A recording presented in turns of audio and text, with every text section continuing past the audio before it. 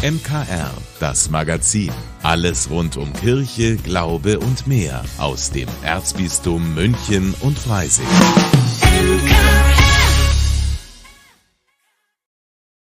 Heute mit Katharina Sichler.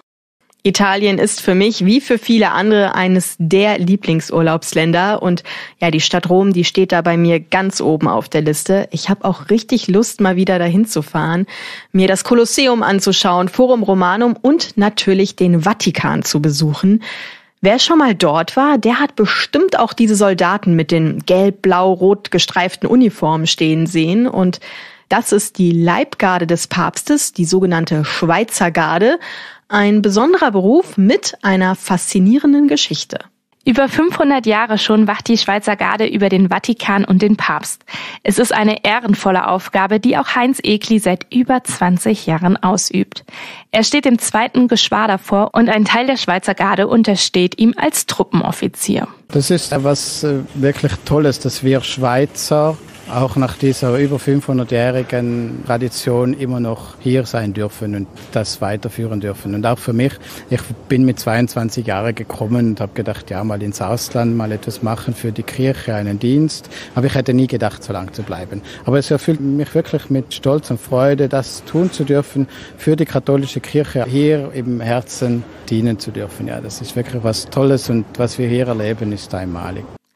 Klar gehören da auch Bürodienste und Wachen dazu. Normale Dienste. Aber eben besonders. Denn es ist ja immer noch der Vatikan. Um Schweizer Gardist zu werden, gilt es natürlich einige Anforderungen zu erfüllen. Man muss mindestens 1,74 Meter groß sein, bei Eintritt ledig und erstmal für zwei Jahre sich verpflichten. Aber das ist noch längst nicht alles. Also er muss gebürtiger Schweizer sein, 18-jährig mindestens zwischen 18 und 30 Jahre alt, gut beleumundet bei der Wohngemeinde, Pfarrgemeinde und beim Polizei, eine abgeschlossene Berufslehre oder Maturität und den Militärdienst in der Schweiz absolviert. Rekrutiert wird in der Schweiz übrigens so.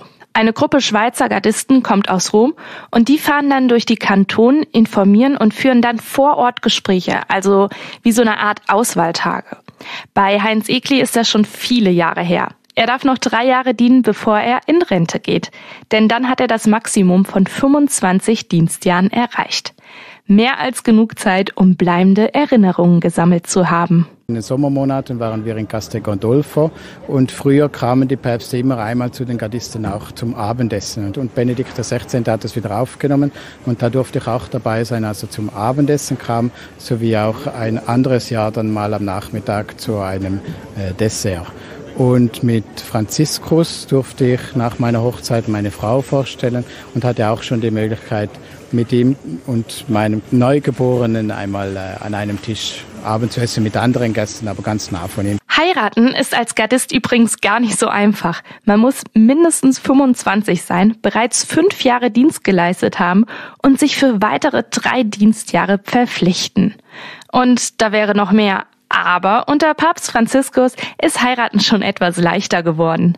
Bei der Schweizer Garde im Vatikan dienen das bleibt auf jeden Fall ein einzigartiger Mix aus Pflichtbewusstsein, Tradition und persönlicher Ehre.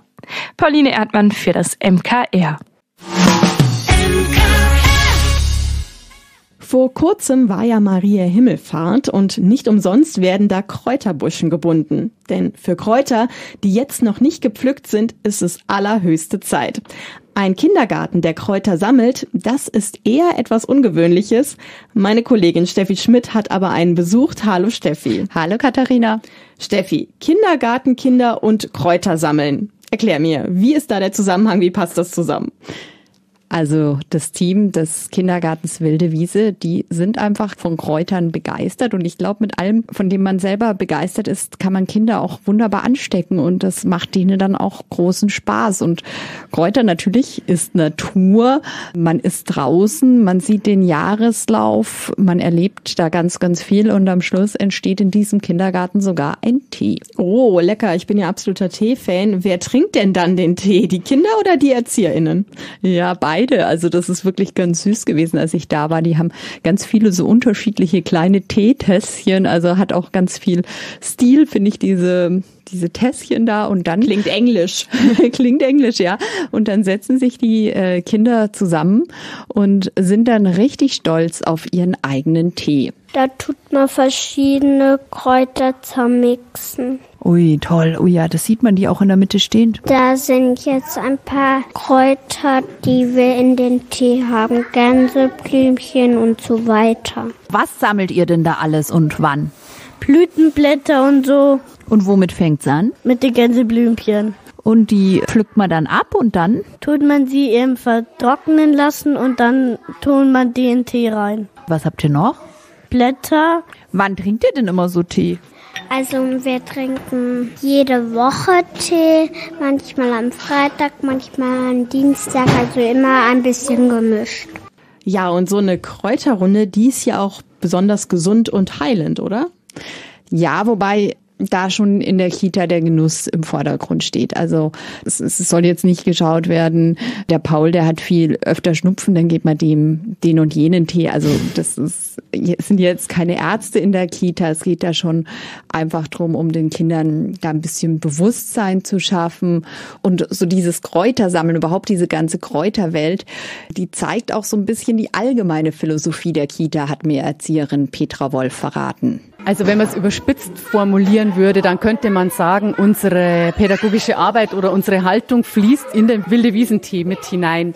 Weil genauso wie wir den Kindern viel Achtsamkeit und Aufmerksamkeit schenken und jedes Pflänzchen seine eigenen Bedürfnisse und seine eigenen Besonderheiten hat, genauso nehmen wir die Kräuter, die Wildkräuter, die Pflanzen im Garten wahr. Manche, die stechen hervor durch besondere Leuchtkraft, andere sind völlig unscheinbar aber hinter jedem steckt einfach eine Besonderheit und viel mehr als man denkt. Man denkt nur ans Gänseblümchen. Gänseblümchen gibt es haufenweise, aber wenn man sich bewusst macht, dass das Gänseblümchen vor kurzem Heilkraut des Jahres war, genauso ist es bei den Kindern.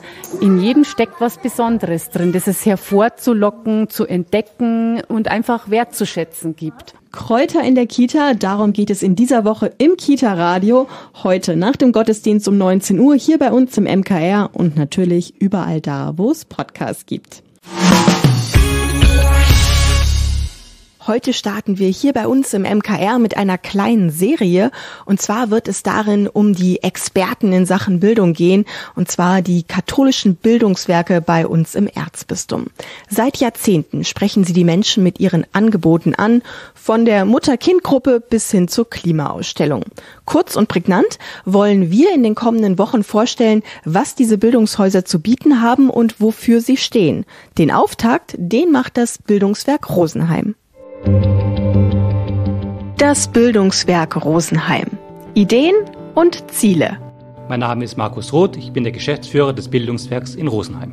Was das Bildungswerk vielleicht abhebt im Vergleich zu den anderen 13 Bildungswerken ist zum einen unsere Geschichte, dass wir schon seit 1945 aktiv sind. Seitdem ist uns ein wichtiger Auftrag, die politische Bildung in die Gesellschaft hineinzutragen, am Puls der Zeit zu sein und gerade dahin zu schauen, neben den theologischen Themen, neben den Familienthemen, eben auch politische Themen was heutzutage gerade wieder sehr aktuell ist. Rassismus, Mobbing, Antisemitismus und die ganzen Themen, die da sind, tragen wir seit 80 Jahren für die Stadt und den Landkreis Rosenheim vor uns her. Das Programm. Für jeden was dabei im Bildungswerk Rosenheim. Neben der Familienbildung, die auch bei uns sehr stark ist, haben wir eine starke theologische Bildung, die sehr stark daran orientiert ist, nicht nur Themen wie Bibelkreise darzustellen, sondern wirklich mit und für die Gemeinden zu arbeiten. Liturgische Grundkurse, Erstkommunion, Unterstützung. Also wirklich zu gucken, dass theologische Bildung nicht nur zentral vor Ort, hier im Bildungszentrum, sondern eben in den Gemeinden stattfindet. Da sind wir sehr stark wir haben das gesellschaftspolitische Forum bei uns, Zusammenschluss von einigen Playern hier in Rosenheim, wo wirklich Themen, die für die Stadt Rosenheim, Landkreis Rosenheim wichtig sind, ratentscheidbar zum Beispiel, MVV-Beitritt, dann man sowas anschaut, aber eben auch die ganzen Themen wie eben Demokratiebildung, US-Wahlen haben wir jetzt eine Veranstaltung, diese ganzen Themen auch nochmal stärker herauszustellen. 2024. Die Highlights im Bildungswerk Rosenheim. Was vielleicht so ein Highlight ist, sind, ist so der Versuch, äh, mal Kunst, Kultur und ein zweites Thema zusammenzubringen. Da haben wir sozusagen zwei Beispiele. Einmal Krippenspiele Klingt erstmal unspektakulär, aber wir werden eben einen Krippenspielkurs äh, etablieren, wo es darum geht, was heißt Krippenspiel für die Leute, die zuschauen, aber auch für die Kinder, Jugendlichen, die da spielen. Und wie kann man da theologische Bildung ein bisschen mit verknüpfen, also Kunst und Theologie. Und zum Zweiten eine Band, No Limits. Zusammen mit der Musikschule Rosenheim gucken wir, dass ältere Menschen mal eine Band gründen und da wieder aktiv werden können, nach 40, 50 Jahren vielleicht wieder ihre E-Gitarre auspacken und dann gemeinsam Musik machen und dann noch sich als Teil der Gesellschaft gut verstehen können. Da eben so Seniorenbildung und Kultur auch zusammenzubringen. Also ich würde mich freuen, wenn Sie uns einmal besuchen würden bei den vielen Veranstaltungen, die wir anbieten, sei es hier in Rosenheim im Bildungszentrum oder auch in den Mitgliedseinrichtungen oder Vereinen in Stadt und Landkreis Rosenheim.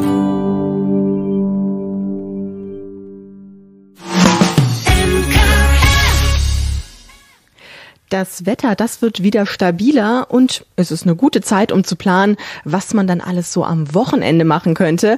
Mein Kollege Willi Witte hat ein paar Tipps. Münchner Kirchenradio Veranstaltungstipps. Das Rosenheimer Herbstfest und das Oktoberfest stehen praktisch schon vor der Tür und deshalb heißt es jetzt, sich nach Trachten umschauen.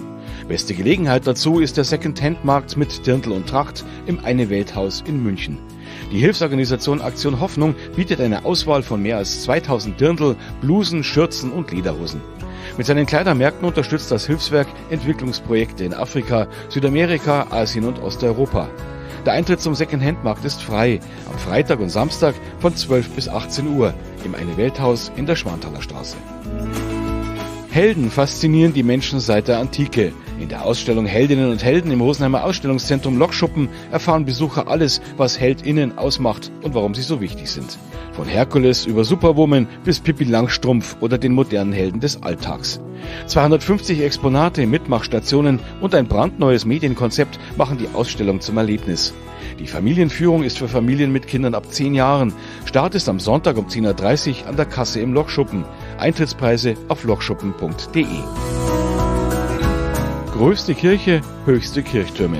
Die Münchner Frauenkirche ist zu Recht das Wahrzeichen Münchens. Der Liebfrauendom, wie sie auch heißt, ist Ziel einer Führung am Sonntagnachmittag mit exklusivem Zutritt zum Chorraum. Die Kirche mit den außergewöhnlichen Turmhauben hat eine wechselvolle Geschichte.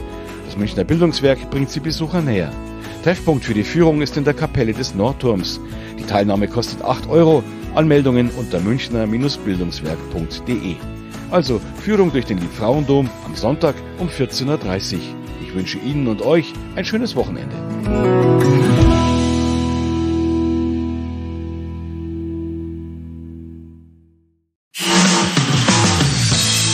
Vielen Dank, dass Sie sich unseren Podcast MKR, das Magazin des Münchner Kirchenradios, angehört haben. Wir freuen uns, wenn Sie unseren Podcast abonnieren und in der Podcast-App Ihrer Wahl bewerten. Am liebsten natürlich mit fünf Sternen. Wir haben auch noch viele andere schöne Podcasts. Diese finden Sie unter münchnerkirchenradio.de und überall, wo es Podcasts gibt. MKR. Wir machen Ihren Podcast. MKR. Mehr Tiefgang für den Süden.